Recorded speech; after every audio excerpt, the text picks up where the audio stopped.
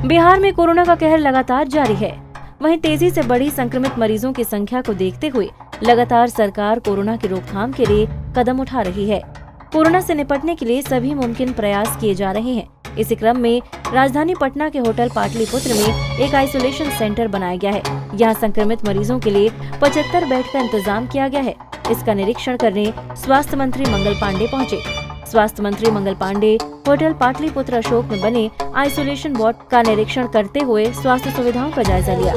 सब लोगों को बताना चाहता हूँ कि बिहार में विशेषज्ञ चिकित्सकों की नियुक्ति की गई है। तेरह विभागों के नौ सौ उनतीस विशेषज्ञ चिकित्सकों की नियुक्ति कल कर दी गई और सभी लोगों से कहा गया है कि सात दिनों के अंदर वो जहाँ उनका पदस्थापना हुआ है वहाँ जाके योगदान करें। जो बिहार तकनीकी सेवा आयोग है उसके माध्यम से ये चयन हुआ था और राज्य की जनता को और आप सब लोगों को इसका बहुत दिन से इंतज़ार था कि जल्दी इनकी नियुक्ति हो और इस कोरोना के काल में हम जितने विशेषज्ञ चिकित्सकों को अपने साथ जोड़ेंगे ये बेहतर होगा। इसके अतिरिक्त 9,200 के करीब जीएनएम के भी चयन की प्रक्रिया लगभग पूरी कर ली गई है बिहार तकनीकी सेवा आयोग के माध्यम से। और वहाँ से बहुत शीघ्र उन लोगों की सूची स्वास्थ्य विभाग को आने वाली है। और जब वो सूची उनके चयन की प्रक्रिया पूरी करके आ जाएगी तो शीघ्र उनका भी पदस्थापन कर दिया जाएगा ताकि स्वास्थ्य सेवाओं में जो मानव बल आवश्यक हमारे पैरामेडिक्स हैं, उन सारे लोगों की जो नर्सेज हैं, उनकी ज़रूरतों को हम पूरा कर सकें।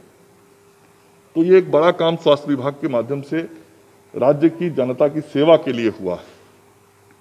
आज जो अब मैं यहाँ आया हूँ, इस पाटलिपुत्र अशोका होटल में तो आप सब लोग देख रहे हैं, हर बेड पे ऑक्सीजन लगाया गया है, हर बेड पे दवाइयों का किट रखा हुआ है, उनके प्रतिदिन के उपयोग के जो सामान होते हैं, मरीजों के, वो सामान रखे हुए हैं। और यहाँ पहले से ये आइसोलेशन सेंटर के रूप में काम कर रहा था, लेकिन अब इसको अस्पताल का स्वरूप दिया गया है और 75 बेड यहाँ पे तुरंत शुरू कर दिए गए आवश्यकता अनुसार फिर इसको हम लोग आगे बढ़ाएँगे भी। ऐसे ही अन्य अस्पतालों की भी व्यवस्था पटना के अंदर विभिन्न स्थानों पर की जा रही है। और अगले तीन चार दिनों में ऐसे और केंद्र आपको पटना में खुलते हुए दिखाई पड़ेंगे। यहाँ जो पचासी मरीज़ पूर्व से भर्ती हैं, मैंने आप सब लोगों के सामने किसी से कहा कि किसी भी मरीज़ से हमको बात कराइए।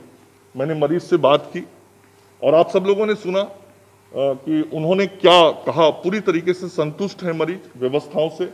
उनको दवाइयाँ मिल रही हैं, डॉक्टर्स देख रहे हैं, नर्सेज हैं जब वो बुलाते हैं, तब वो जाते हैं।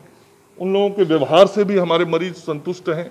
समय पर दवाइयाँ और भोजन सब चीज़ मिल रही। तो इन चीज़ों की निगरानी भी स्वास्थ्य विभाग लगातार रख रहा है। और यहाँ जो ये अस्पताल खुला है, इसके लिए भी दो चिकित्सक और तीन पैरामेडिक्स स्टाफ हर पाली के लिए तय किए गए हैं। हमारे डॉक्टर्स और पैरामेडिक्स भी यहाँ पे हैं। और ये सब लोग मरीजों की चिंता करेंगे।